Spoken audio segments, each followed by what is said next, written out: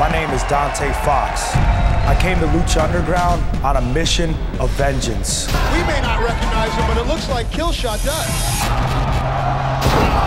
I decided to keep fighting here because I know I have the determination, discipline, and the God-given talent to rise to the very top of this temple. I was a prisoner of war overseas. They locked me up, but they should have killed me because what they did to me only made me stronger. Welcome to the temple, Dante Fox. I use my body as a weapon to hurt everybody in sight.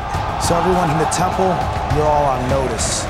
You step in the ring with Dante Fox, there's a good chance you won't step out. I plan on winning the Cueto Cup. Killshot, he got lucky not having to face me. But Dragon Azteca Jr., not so much. I know he's real talented, but he's no match for the one-man army, Dante Fox.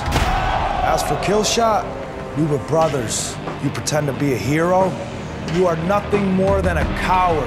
Dante Fox and Killshot have had a long-standing rivalry. It goes all the way back to their days in basic training. I'm not done with you, Killshot. Not even close. My job won't be done until you leave this temple on a stretcher and never return. Just like you did to me, I'm gonna leave you for dead. Vengeance